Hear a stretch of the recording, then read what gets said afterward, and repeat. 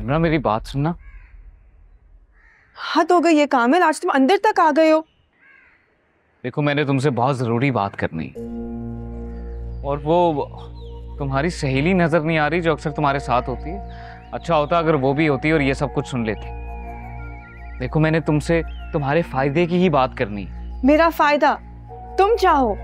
देखो मैं तुमसे सिर्फ़ ये कहना चाहता हूँ कि तुम अपनी जायदाद की हिफाजत खुद करो।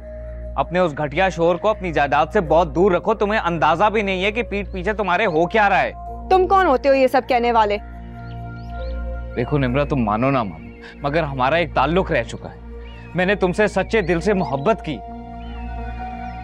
मैं तुम्हारी हिफाजत करना चाहता हूँ। देखो तुम्हें यकीन नहीं कि फारिस कितना घटिया इंसान है। उसने तुमसे छुप कर दूसरी शादी की हुई है।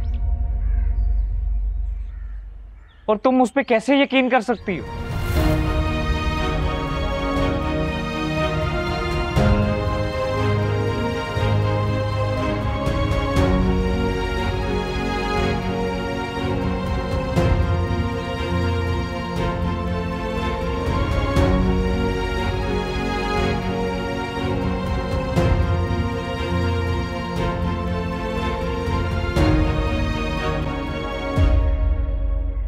कहाँ खोगी निमरा।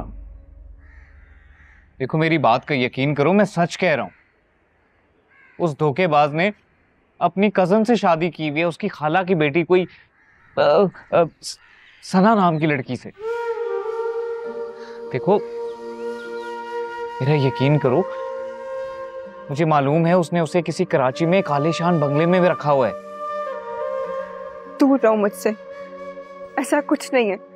झूठ बोलते हो, तुम धोखेबाज हो। अच्छा अगर मैं झूठ बोल रहा हूँ और तुम्हें उस धोखेबाज पे इतना ही एतबार है तो ठीक है, मैं तुम्हें पता देता हूँ। तुम चली जाओ कराची, जाके अपनी आँखों से देख लो। दूध का दूध और पानी का पानी हो जाएगा।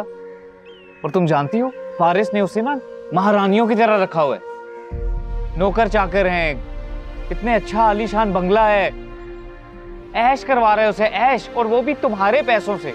तुम्हारी जायदाद को बेच बेच कर और तुम्हें तो कुछ मालूम ही नहीं।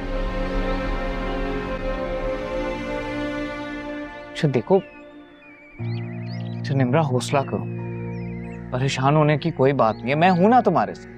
सिर्फ़ एक बार मुझ पर एतबार कर कर दे। तुम जो कहोगी, जैसे कहोगी, मैं सब काम तुम्हारे लिए वैसे ही करूँगा। मैं तुम्हारी हर तरीके से मदद करूँगा। मगर उसके लिए निम्रा, तुम्हें मुझ पे यकीन करना पड़ेगा।